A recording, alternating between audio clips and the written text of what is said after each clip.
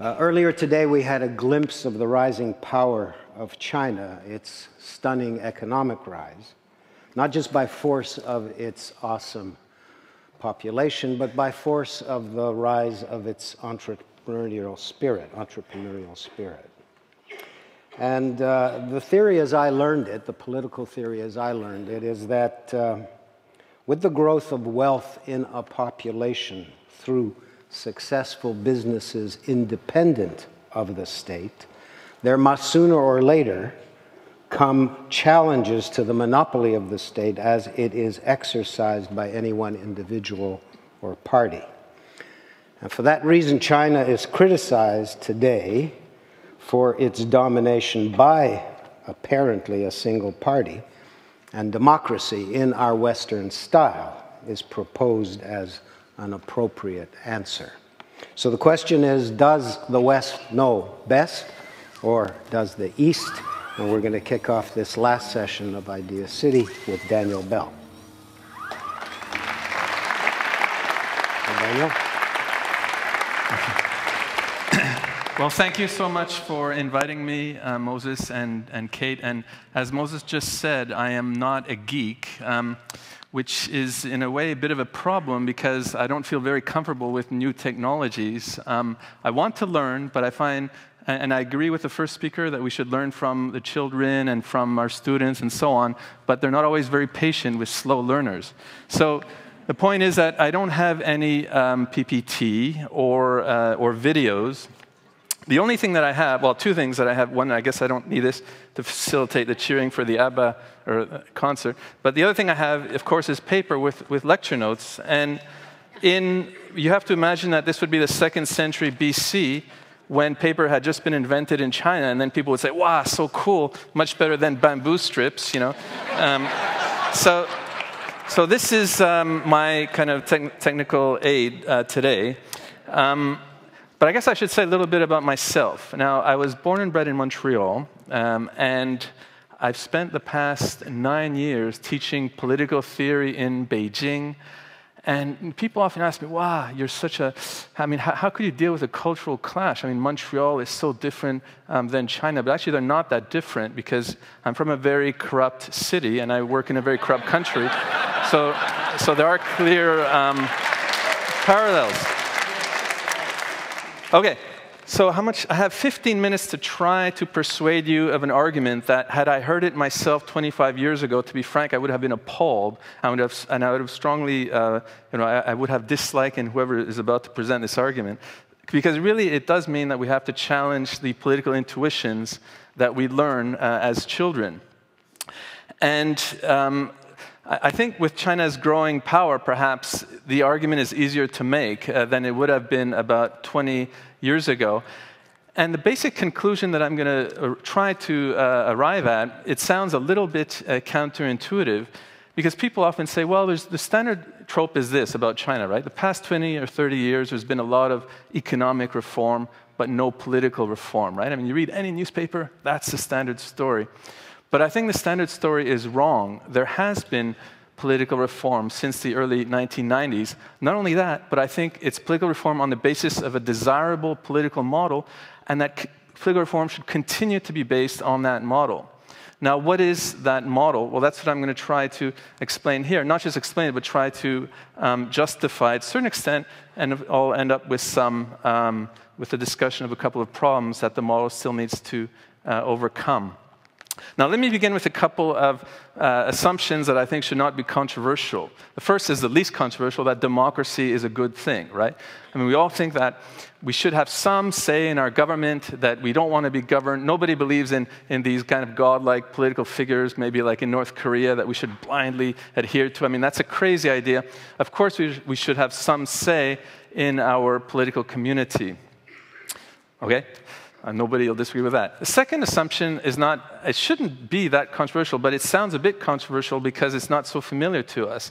And this is the idea that meritocracy or political meritocracy is a good thing. And this is the idea that the political system should be structured in a way that selects and promotes leaders based on superior ability and virtue. Now, that's, that's the standard you know, in Chinese political culture, that's more or less the mainstream view.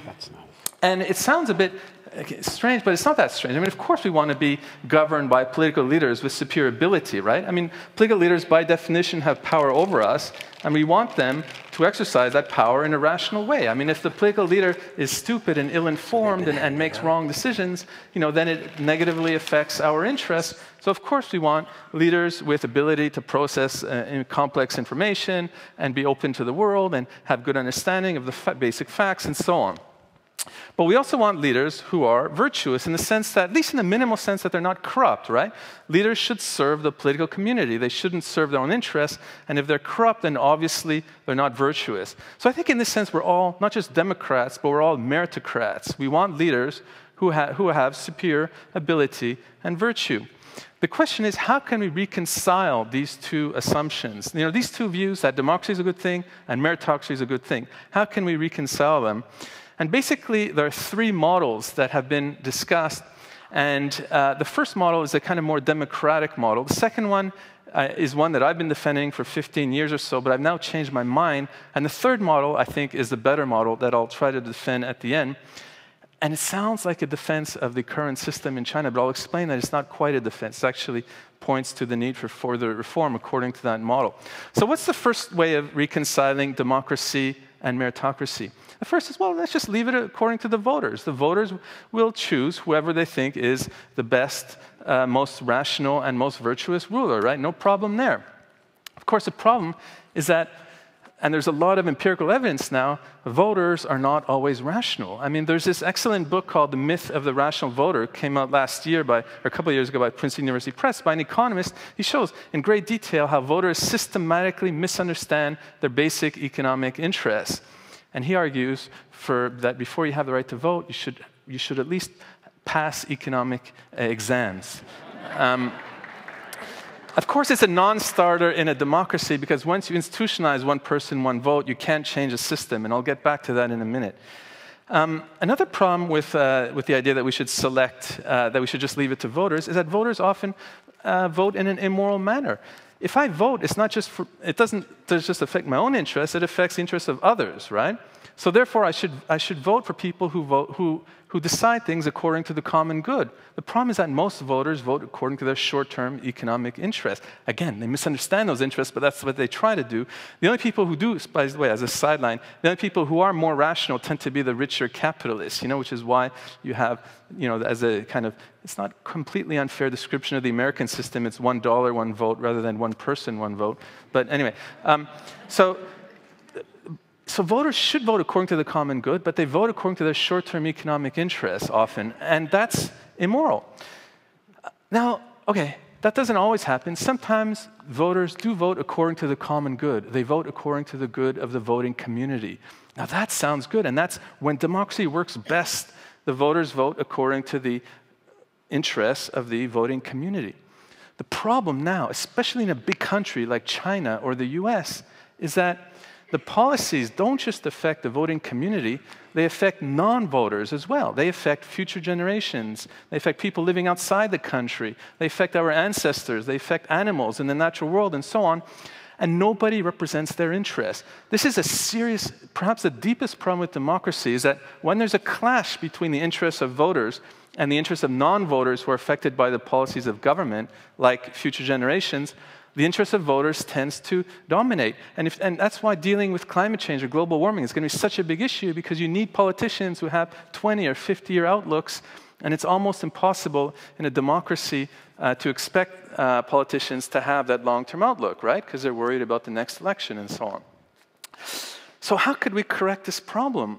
Well, we have had some ingenious proposals uh, in Western uh, history. You know, in the 19th century, the great liberal British theorist John Stuart Mill, he says, let's give extra votes to educated people. Now, that, you know, the, it, a certain extent, you know, that is not a terrible idea. The problem is that it's very hard to implement in practice. How do we draw the line between, you know, who, who, who's educated and who's not? And if you have a master's, you get two votes. If you have a PhD, you get three votes it's impossible to draw the line in a non arbitrary way. In other words, it's impossible to avoid controversy as soon as you bring up this issue. And the other thing is, once you implement one person, one vote, it's impossible to change. No matter how rational the argument, nobody's going to say, fine, I agree, I'm not as, rational as other people, and I agree that other people should have extra votes. It's just a complete non starter. So I think the idea of addressing uh, the problems of voting by giving extra votes to educated people or to any sort of group, in, for example, giving uh, exams in economics, is a non starter. So, what are the other models that we can have? You know, are there other models? I mean, you know, Winston Churchill famously said that um, you know, democracy is the worst possible system except for all the others. And, and, that's, and that's so commonly used. You hear it all the time. I mean, I don't know, that quote must be one of the most commonly used arguments in favor of democracy. But in fact, there are other models, and that's what I'm going to talk about.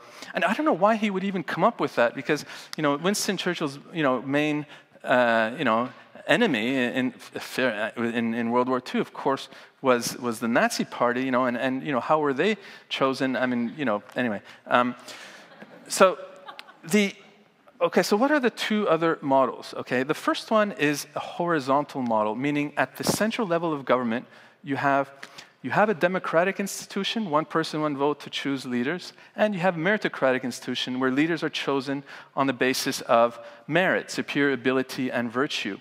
And you've had great thinkers like Friedrich Hayek who proposed this bicameral legislature model. He says, let's have a bicameral legislature. It's different than the Senate in Canada, the House of Lords in the UK. These are, would be over people over 45 that have 15-year horizon, and they have to think of the long-term issues, different than the uh, elected House. Com again, a complete non-starter because once you have a, a, a, democratically elected House, that tends to be the only source of legitimacy in society. And whether it's the House of Lords in the UK or the Senate, not to mention the stronger upper houses that, uh, that Hayek had in mind, they inevitably are bound to lose power relative to the democratic House. What about in a Chinese context where there's more of a tradition of meritocracy? Well, the great Chinese uh, thinker in the early 20th century, Sun Yat sen, he proposed an idea let's give exams to politicians, not to voters. If the, we can vote for them, but if they fail the exams, then they can't serve the public. Now, that sounds like a good idea, and, and he's regarded as a founding father in both Taiwan and China. Again, the problem is that if somebody gets 80% of the vote and they fail the exam, you know, the system is bound to be unstable and to lack legitimacy. So that's another non starter. Another great Chinese thinker, contemporary thinker called Jiang Qing, he proposes, and several others, uh, Bai Tongdong and, and Joseph Chan and others, this is a common view and actually one that I've defended in uh, the past you know, 15 years or so. A democratic house where the, uh, the, politicians would serve the interests of voters, and a meritocratic house where the politicians are chosen by exams and performance at lower levels of government, and they would serve the interests of non voters affected by the policies of government, like future generations. The problem with that view is that, again, the democratic house, once it's there, it's bound to have more legitimacy, and the meritocratic house is bound to lose some sort of power. Um, so, and that's one problem. You know, the other problem is that it's just unrealistic in China. I mean, we keep on hoping the past 15 years that it's moving towards that model, but it's not happening. So, what's another model?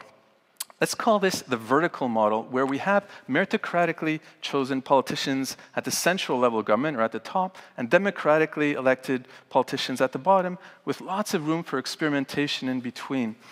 And that model is more or less a description of the model that has inspired political change since the 1990s in China.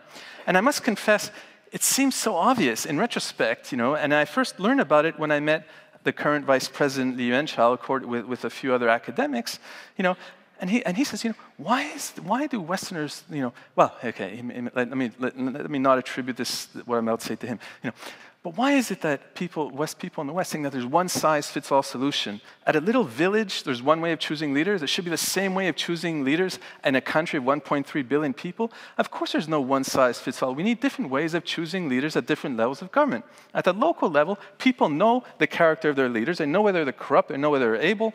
Um, they have a better sense of uh, the, lo the, local issues are not so complex, whether you build a school or hospital.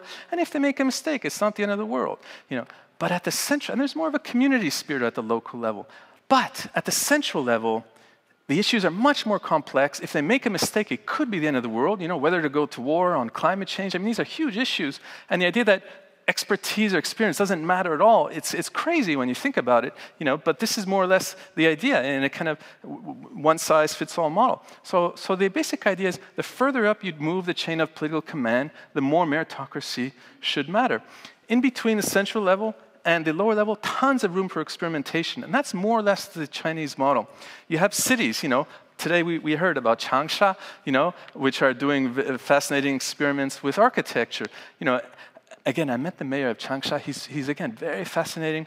Uh, he has a PhD from, from Berkeley. Um, uh, he worked in the World Bank and so on. I mean, compare that to mayors in Canada, and I won't name any, any um, you know, so, so you have lots of room for experimentation in between, you know, um, and you have, you know, Hong Kong, of course, is a model of free speech. And the basic idea is the central government shouldn't intervene too much. Let all these experimentations happen, and if something works, then you can generalize it to the rest of the country. So, and more or less, you know, you think of China as a highly centralized state. In fact, it's highly decentralized. And you have all these experiments in all different cities and regions in China, much more flexibility than a very rigid federal system. And the leaders are trained for 20 or 30 years before they can move up the, the, chain of command, you know? So they don't make beginner's mistakes. I mean, Obama, he's very brilliant, but when he was first made, you know, president, didn't have as much experience. Lots of beginner's mistakes. It doesn't happen um, in China. And note that this model is incompatible with competitive elections at the highest levels because once you have competitive elections, you know, you won't have this incentive to train people for 20 or 30 years. So it's a pretty good model. Now, what are the two flaws? And I have a minute and 40 seconds left to explain. Um, the first flaw, of course, is corruption, right? That the system is very corrupt. Everybody knows that. In fact, compared to countries at similar levels of economic development, it's not that corrupt, but there's more of an incentive to deal with corruption in China because of the fact that the leaders get legitimacy from being viewed as meritocrats, not from being viewed as democrats. So, in fact, the government now, I think, is moving more or less towards dealing with corruption. I expect China to deal better with corruption than Montreal over the next decade or so. But anyway, the second problem is perhaps even deeper problem, which is a legitimacy problem. That as society modernizes, and here I do think that it's also the case in China, there's more of a desire for political participation in an open society. There are different sources of legitimacy. There's nationalism, um, there's performance legitimacy, you know, if you, if you alleviate poverty. But at some point, there's going to be a need for the people to endorse a system in China. And competitive elections is a non starter, so what could it be? Well, I predict that in 10 or 15 years, maybe 20, there's going to be some sort of referendum to ask the people, do you endorse the Chinese model? And if so, we're going to let, keep it in place in a more stable constitutional foundation for 50 years or so. If there's a strong yes vote, I think it'll be much more legitimate in China and it'll have also greater respect abroad. So, so again, I'm not defending the system. I do think the system is, is, is more or less on the right track, but that it needs a tremendous amount of improvement. Thank you. I have 14 seconds left.